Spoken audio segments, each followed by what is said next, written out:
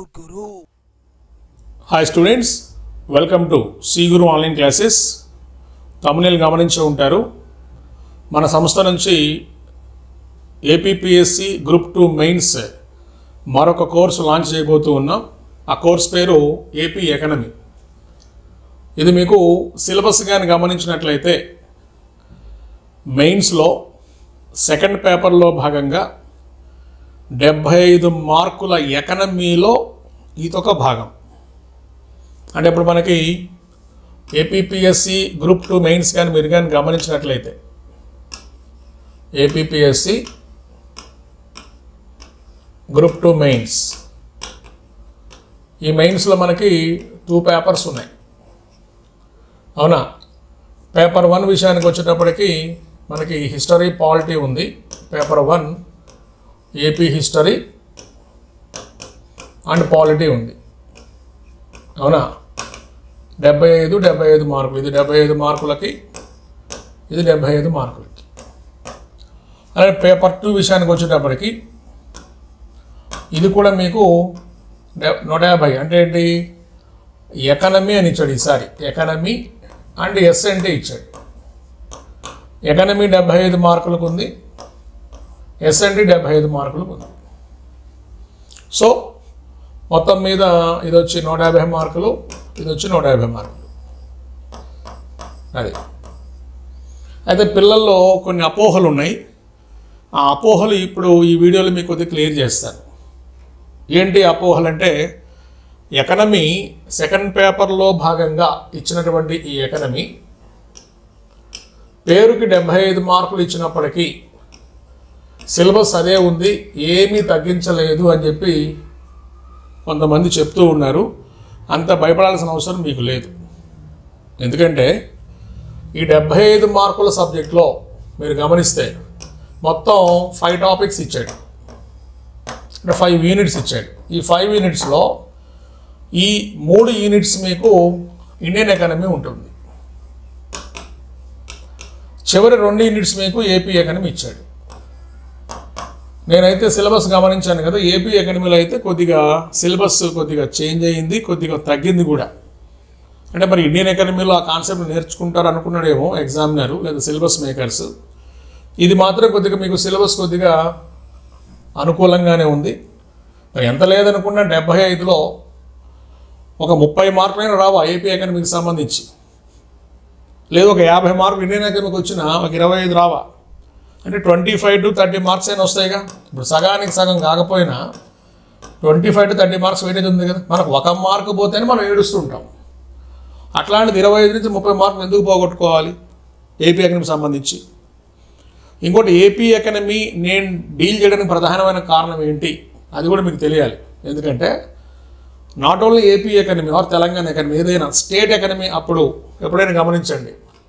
ఈ state economy మొత్తం మొత్తం కూడా మీకు రిసోర్సెస్ మీదే ఉంటుంది. ఇందులో ఎకనమికల్ కాన్సెప్ట్స్ వెరీ రేర్ చాలా తక్కువ ఉంటాయి. మొత్తం రిసోర్సెస్ అంటే రాష్ట్రానికి సంబంధించినటువంటి సహజ వనరుల మీద మనకి ఐడియా ఉంటే చాలు. ఈ సహజ వనరులు మీరు ఎకనమీ కాబట్టి ఎలా చూసుకోవాలి? రంగాల వారీగా మనం చూసుకోవాలి. రంగాల వారీగా. ఈ రంగాల వారీగా మనం చదువుకునే క్రమంలో ఏంటి? ప్రాథమిక రంగం అంటే అగ్రి సెక్టార్ ద్వితీయ రంగం అంటే ఇండస్ట్రియల్ సెక్టార్ టెర్షియరీ లేదా తృతీయ రంగం అంటే సేవా రంగం. ఇలానే వాడు సిలబస్ డిజైన్ చేశాడు కావాలంటే మీరు చెక్ చేసుకుని చూపిస్తా సిలబస్ కూడా నేను మీకు చూపిస్తాను ఇక్కడ అభ్యర్థులు ఏం చేస్తారు? నేర్చుకునే క్రమంలో ఆ సిలబస్లో ఇవి ఉన్నాయో లేదో ఒకసారి చూసుకోండి నేను ఇప్పుడు మీకు చూపిస్తాను కూడా.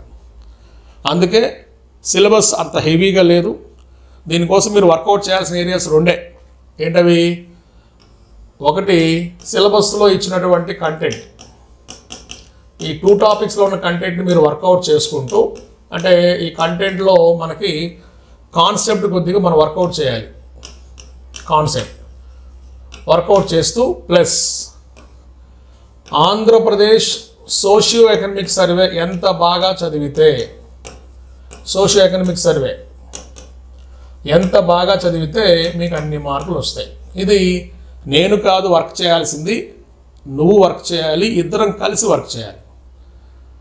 ఓకే ఇద్దరం కలిసి వర్క్ చేయాలి అన్నప్పుడు మరి నీ శ్రమ ఎక్కువ ఉంటుంది. మెంటర్షిప్ నేను స్టార్ట్ చేసినప్పటికీ నేనైతే అర్ధరాత్రి అపరాత్రి కూడా లేపి నీకు చెప్తూ ఉంటాను. కానీ నాకంటే కూడా నువ్వు పరిగెత్తిచ్చేది నేను కానీ పరిగెత్తాల్సింది నువ్వు. నీలో ఉండాలి ఆ బలం. మోటివేట్ నేను చేయగలుగుతాను చెప్పడం అనేది నేను చెప్పగలుగుతాను. ఒకవేళ మీరు ఒకసారి మీరు ఈ సిలబస్ దగ్గరికి వెళ్ళి చూడండి. మనకి టైం వేస్ట్ అవుతుంది మొత్తం చూడండి ఇక్కడ. జాగ్రత్త చూస్తే ఇదిగోండి. India and AP economy seventy five marks అనేది. ఒకసారి చెక్ చేసుకుంటే మీరు. ఇదిగోండి ఫస్ట్ టాపిక్ చూడండి. Structure of Indian economy economical planning and policy. మనకు అవసరం లేదు ఏపీ ఎకనమీలో భాగంగా. మనకంటే నాకు. రెండవది money banking public finance and foreign trade. ద్రవ్యము బ్యాంకింగ్ ప్రభుత్వ విత్తము అండ్ ఫారెన్ ట్రేడ్ విదేశీ వాణిజ్యం. ఇది కూడా మనకి అవసరం లేదు. ఇంకా అక్కడి నుంచి మూడవది. Agriculture sector industrial sector and service sector Indian economy. స్పెషల్గా చెప్పేశాడు. భారత ఆర్థిక వ్యవస్థలో వ్యవసాయ రంగము పారిశ్రామిక రంగము మరియు సేవా రంగులు చదవమన్నాడు. సో మూడు యూనిట్స్ మీకు ఇండియన్ ఎకనమీకి సంబంధం. సినిమా కనపడుతుంది. సినిమా కనపడుతుంది. స్కోర్ తెచ్చుకోవాలంటే మాత్రం చుక్కలు కనిపిస్తాయి. కానీ very very easy very very ఈజీగా స్కోర్ చేసినటువంటి ఏరియాస్ ఇవి రెండు. ఏ రెండు? ఇదిగోండి ఇక్కడ. ఈ రెండు చూడండి. ఇవి రెండు చాలా ఈజీగా ఎందుకు? మీకు ఇండియన్ ఎకనమీలో భాగంగా ఎట్లాగో అక్కడ పబ్లిక్ ఫైనాన్స్ చదువుతారు.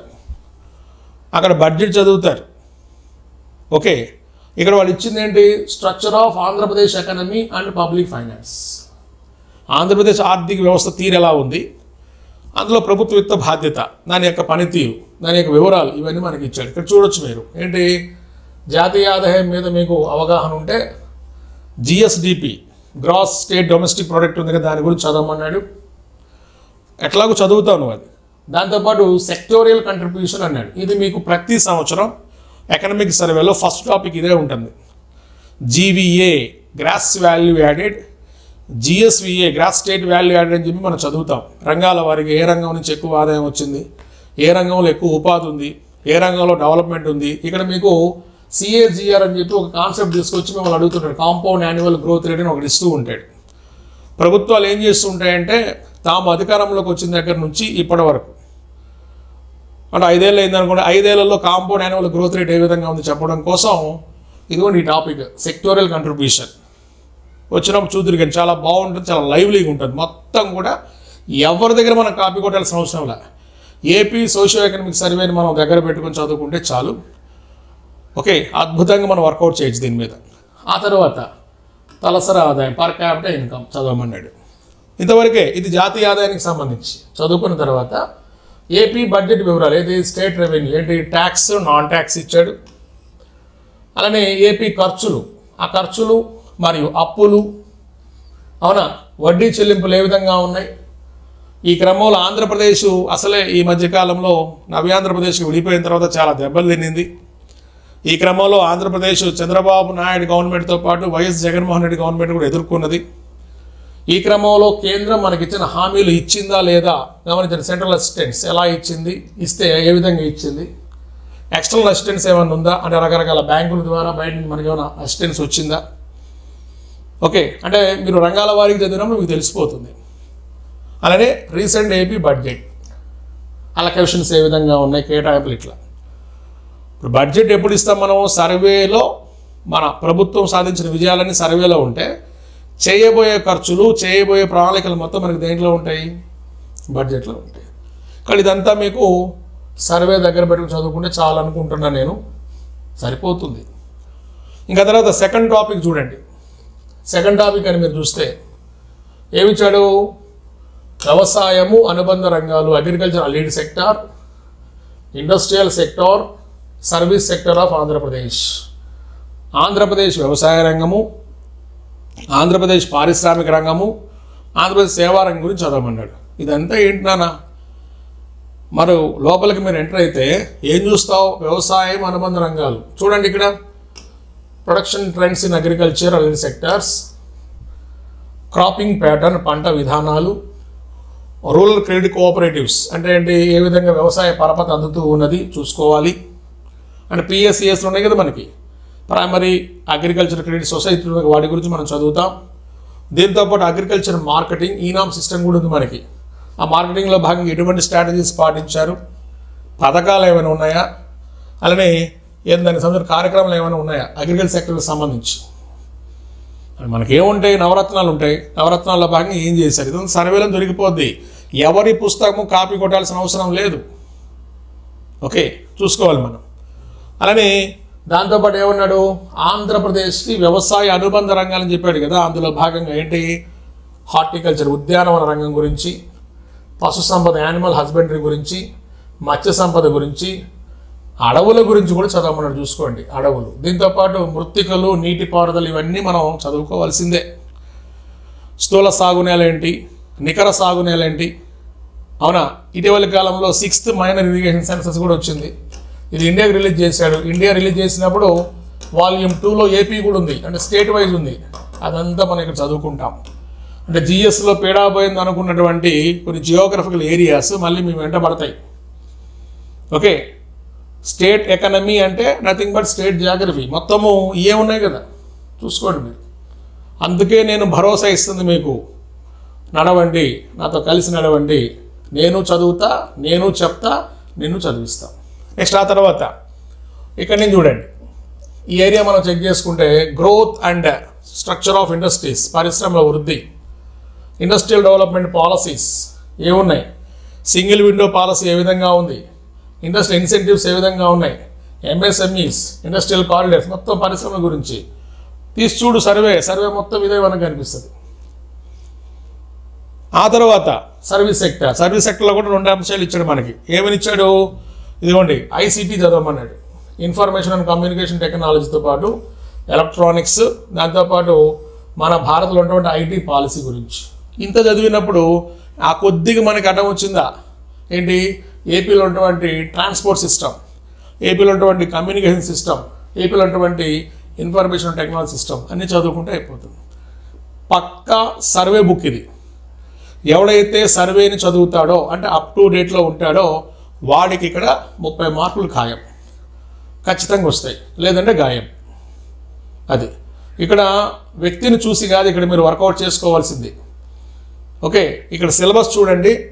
ఈ సిలబస్ మీకు నేను మీకు న్యాయం చదువు చేయగలుగుతాను లేదా అనే నమ్మకం ఉంటే నాతో కలవండి. ఓకే ఇవి రెండు ఏరియాస్ సర్వే దగ్గర పెట్టుకొని చదువుకుంటే చాలు. కంటెంట్ కోసం కొద్దిగా మనం ఏపీ ఎకనమీకి సంబంధించినటువంటి పాత పుస్తకాలు దగ్గర పెట్టుకుని ఎందుకంటే మన కొత్త పుస్తకాలు దగ్గర లేవు. దగ్గర పెట్టుకుని మన కంటెంట్ దొరికిపోతుంది. అంటే తెలుగు అకాడమీ ఏ ఇయర్ అయినా మనకి సరిపోతుంది. కంటెంట్ కోసం ఎప్పుడుదేం చదవచ్చు. తెలుగు అకాడమీ ఏపీ అకాడమీకి సంబంధించి ఎవరైనా కొత్త వాళ్ళు ఉంటే తెలుగు అకాడమీ చదువుకుంటూ ప్లస్ ఖచ్చితంగా మీరు ఎంత ఫ్రెష్ డేటా ఉన్నటువంటి ఏది ఏపీ సోషియో ఎకనామిక్ సర్వే చదువుకుంటే మీకు ఖచ్చితంగా విజయం లభిస్తుంది. నా సంగతి మీకు తెలుసు అనుకుంటాను. నేను ఏది వర్కౌట్ చేయకుండా మీకు హామీ ఇవ్వను. ఏది వర్కౌట్ చేయకుండా హామీ ఇవ్వను. సార్ పాత సిలబసే కదా అంటే పాత సిలబస్లో మరి ల్యాండ్ రిఫార్మ్స్ ఉండాలి. దీంట్లో ఉందా? ల్యాండ్ రిఫార్మ్స్ భూ సంస్కరణ ఉందో చూపించు. ఓకే లేదుగా. సిలబస్ పక్కన పెట్టేసినట్టే కదా. చాలా ఏరియాస్ మనకి వెళ్ళిపోయినాయి. అవసరమైతే ఇక్కడ మనకి ఈ సర్వీస్ సెక్టర్లో భాగంగా ఇది ఏది? రవాణా. వీటి గురించి వివరాలు ఏమైనా ఉన్నాయా? పోనీ ఏపీ పవర్ ఉంది కదా విద్యుత్ సంబంధించిన వివరాలు ఏమైనా ఉన్నాయి? ఏం లేవు. కానీ చదవాల్సి వస్తుంది నేను చెప్తున్నా. కాబట్టి తెలుగు అకాడమీ ఇది పాతదైనా పర్వాలేదు. ఎందుకు? దీంట్లో కాన్సెప్ట్ కాన్సెప్ట్ అప్పుడు మారదు. మనం చదవాల్సింది ఏంటి? Up to date social economic సర్వేలు ఉన్నాయి. దీంతో పాటు వాడే చెప్పాడు బడ్జెట్ చదవని బడ్జెట్ పాత చదవవు కదా ఎంత కొత్త ఉందో అంత కొత్త చదువుతాం. ఇవి. ఇవన్నీ మీకు సర్వేలు దొరికిపోతాయి. సర్వే అంటేనే దేశము లేదా రాష్ట్రము సాధించినటువంటి విజయము. దేశం సాధించిన విజయము అపజయము. ఇండియా సోషల్ ఎకనామిక్ సర్వేలో ఉంటుంది. రాష్ట్రము సాధించిన విజయము అపజయము రాష్ట్రం యొక్క సర్వేలో ఉంటుంది. సో మనము ఈసారి ఖచ్చితంగా ఏపీ ఎకానమీ మీద ఖచ్చితమైన గ్రిప్ను మనం సంపాదించుకోవచ్చు. అది. కాబట్టి ఇది మీకు చాలా తక్కువ కాస్ట్కే మీకు అందుబాటులో పెట్టడం జరిగింది. చెక్ చేసుకోండి. ఏమా చాలా తక్కువ కాస్ట్ ఉంది. ఇది మీకు ఆరు నెలల వేరియేషన్ ఆరు నెలల వ్యాలిడిటీతో మనకు వస్తుంది. డిసెంబర్ అంటే ఐ మీన్ ఇది మార్చి కదా. మూడు ప్లస్ ఆరు. దగ్గర దగ్గర మీకు అక్టోబర్ దాకా మీకు అందుబాటులో ఉంటుంది ఈ కోర్స్. అంతే కదండి ఇంక రెండు రోజులు ఏప్రిల్ వస్తుంది. నాలుగు నెలలు నాలుగు ప్లస్ ఆరు ఎంత అక్టోబర్ దాకా మీకు అందుబాటులో ఉంటుంది ఈ కోర్స్. అప్పటికి మనకి ఎగ్జామ్ కూడా అయిపోతుంది. వెరీ రీజనబుల్ ప్రైస్ ఏనా వెరీ రీజనబుల్ మీరు క్లాసులు జాయిన్ అయిన తర్వాత మీకే తెలుస్తుంది. ఇది క్యాపబులా కాదనేది ఒక క్లాస్ ఉంటే తెలుస్తుంది. ఇక డెమో క్లాసులు ఎన్ని వదిలేసే ఇంకా. ఎంక్వైరీ చేసుకో బయట. సి గురు నరసింహ సార్ ఇట్లా చెప్పాడు స్టార్ట్ చేశాడు. అవునా కదా? నేను అసలు కరోనాకి ముందే సపరేట్గా ఏపీ ఎకానమీ బ్యాచ్ వేసిన సందర్భాలు ఉన్నాయి. ఎవరైనా షైన్ ఇండియా స్టూడెంట్స్ ఇప్పుడు మన వీడియో చూస్తే వాళ్ళకి తెలిసి. ఎందుకంటే వాళ్ళకి నేను ఒక నాలుగు బ్యాచ్లు ఏపీ ఎకానమీ చెప్పా. షైన్ ఇండియా సాక్షిగా. ఎప్పుడైతే ఎస్ఎన్టీకి సంబంధించిన సిలబస్ అది కూడా సిలబస్ దగ్గర పెట్టుకుని మొత్తం అక్కడ ఎన్విరాన్మెంట్ ఉంది కాబట్టి నేను డీల్ చేశాను కాబట్టి అది నేను తీసుకున్నాను కాబట్టి నమ్మకం ఉన్న వ్యక్తులు మాత్రమే నాతో జర్నీ స్టార్ట్ చేయండి. ఖచ్చితంగా ఇది మీకు ఎవరు నేను అందరికీ తెలుసు నేను న్యాయం చేయగలుగుతా లేదా అనేది మీకు తెలిస్తే చాలు. ర్యాండమ్గా బయట ఎంక్వైరీ చేసుకోండి. నేను చెప్పిన దాంట్లో అబద్ధం ఏమన్నా ఉంటే ఏమ్మా ఇంకా మీ ఇష్టం. ఈ ప్రైస్ ఇంకా అంటే చాలా వెరీ తక్కువ పెట్టున్న యాక్చువల్గా మూడు వేలు నాలుగు వేలు అనుకొని కూడా వద్దు. స్టూడెంట్స్ ఇబ్బంది పడుతున్నారని చెప్పి మనం పన్నెండు వందలకి మనకు అందుబాటులో పెట్టాం. ఇక్కడ అభ్యర్థులు మీరు ప్లాన్ చేసుకొని ఎంత ఎర్లీ తీసుకున్నా అంత మంచిది. ఈ క్లాసులు మీకు ఏప్రిల్ ఏడవ తేదీ నుంచి స్టార్ట్ అవుతాయి. ఏప్రిల్ సెవెంత్ నుంచి మీకు అందుబాటులో ఉంటాయి. సెవెంత్ అంటే మనకి సండే వస్తుంది. Seventh or eighth. ఇంకోటి మీకు ఫోల్డర్లో ఏం చేశానంటే కంటెంట్ మీద మీకు అవగాహన కోసం నేను ఒక చిన్న అడ్జస్ట్మెంట్ కూడా చేసి పెట్టాను. మీరు యాప్లోకి వెళ్ళి చూస్తే మన యాప్లో. ఇక్కడ చూడండి. యాప్లో మీరు చూస్తే ఇక్కడ మీకు ఇదిగోండి. Up to twenty twenty three వరకు చెప్పినటువంటి పాత కంటెంట్ ఉంది కదా అది కూడా పెట్టాను మీకు అందుబాటులో. చూడొచ్చు మీరు ఇదిగోండి పాత కంటెంట్ అందుబాటులో పెట్టాను. ఇవన్నీ ఉన్నాయి? దీనితో పాటు దీనితో పాటు ఇప్పుడు మీరు కొత్త డేటా కావాలి మీకు. అవునా కాక ఈ కొత్త డేటా మీకు న్యూ ఏపీ ఎకనమీ అనే ప్లేస్లో మీకు కనిపిస్తుంది. చూడొచ్చు మీరు. ఇదిగోండి classes will be upload from April seventh అని మీకు అక్కడ పెట్టాను. ఏప్రిల్ ఏడవ తేదీ నుంచి అన్నీ కూడా లైవ్ క్లాసెస్ స్టార్ట్ అవుతాయి. మొత్తం కూడా లైవ్ క్లాసెస్. లైవ్ క్లాస్ అయిపోయిన తర్వాత ఇది ఆటోమేటిక్గా రికార్డులోకి వెళ్ళిపోద్ది. ఇది. నీకు కష్టపడగలిగే శక్తి ఉంటే నాతో కలువు. ఖచ్చితంగా ప్లాన్ వేస్తుంటే కొంతమంది కూర్చుంటారు. ఏమీ ఉపయోగం లేదు. ప్రణాళికలు ఒక రోజు వేయాలి రెండు రోజులు వేయాలి. ఇంక జీవితాంతం ప్రణాళికలు వేయటమేనా? వర్క్ స్టార్ట్ చేయవా? ఎవరైతే స్టార్ట్ చేస్తాడో వాడికి ప్రోగ్రెస్ ఉంటుంది. మేమైతే స్టార్ట్ చేసాం ముందుకెళ్ళిపోయాం. ఓకే సక్సెస్ సాధించాం ప్రిలిమ్స్లో. మళ్ళీ దాన్ని బేస్ చేసుకొని ఇప్పుడు ఎస్ఎన్డీకి సంబంధించి మనతో దాదాపు దాదాపు నూట డెబ్భై పైగా మనకి కూర్చున్నారు వచ్చి. అలానే ఏపీ ఎకనమీ ఇది కూడా స్టూడెంట్స్ రిక్వెస్ట్ మీద మేము స్టార్ట్ చేస్తున్నది. అది ఆలోచన చేసుకుని మీరు తీసుకోండి. లైవ్ క్లాసులు ఉంటే ఇది ఆటోమేటిక్ రికార్డ్ అవుతాయి. చూసుకోవచ్చు మీరు. ఇదిగోండి నేను మళ్ళీ కొద్ది రోజుల తర్వాత మీకు వీడియో చేస్తాను. చేస్తున్నది కూడా మీకు చూపిస్తున్నా. ఇప్పుడు ప్రజెంట్ ఇంకా నేను మీకు ఏంటి ఈ వీడియో చేయకముందు నేను జస్ట్ పెట్టేశాను. ఇప్పటికి ఎంతమంది స్టూడెంట్స్ ఎన్రోల్ చూడండి ఇక్కడ. ఫోర్ మెంబర్స్ ఉన్నారు. అబద్ధం ఎందుకు చెప్పాలి? మరి కొద్ది రోజులు అయిన తర్వాత మళ్ళీ- మళ్ళీ వీడియో చేసినప్పుడు మీకు చూపిస్తున్న ఎంతమంది అయ్యారు? దట్ ఈస్ ద ట్రస్ట్ నా కష్టం మీద స్టూడెంట్స్కి నేను సాధించి పెట్టే అంటే నేను సాధించి పెట్టే విజయం అయినా మనం కలిసి వర్క్ చేస్తాం. ఆ విజయం మీద నాకు నమ్మకం ఉంది కాబట్టి చెప్తున్నాను. జాయిన్ విత్ సీ గురు మీ లైఫ్ మారాలి అంటే సీ గురుతో సాధ్యమవుతుందా కాదా అంటే ఆలోచించుకొని చూడు ఎంక్వైరీ చేసి చూడు మీకు చెప్తారు. ఓకే నరసింహ సార్ ఎక్కడికి పోడు సీ గురుతోనే ఉంటాడు. అది. ఓకేనా? కాబట్టి రండి సీ గురుతో కలిసి మీరు వర్క్ చేయండి ఖచ్చితంగా విజయం మీది. ఇక్కడ నేను మాయమాటలు చెప్పడం అంటూ ఏముండదు కష్టపడకుండా ఏది రాదు. అది మెంటర్షిప్ ఎలా ఉంటుంది ఏంటి అనేది మీకు తెలుసు మళ్ళీ కొత్తగా చెప్పేది ఏం లేదు. కానీ చివరిగా ఒకే ఒక మాట ఏంటి? నిర్ణయం మీది. ఎందుకంటే జీవితం కూడా మీదే కాబట్టి. ఆలోచన చేసుకొని మంచి నిర్ణయం తీసుకోండి. ఫ్యూచరు మంచిగా ఆనందమయంగా ఉండాలంటే తీసుకున్న నిర్ణయం మీదే ఆధారపడి ఉంటుంది. ఓకేనా? All the best. Thank you. Thank you so much.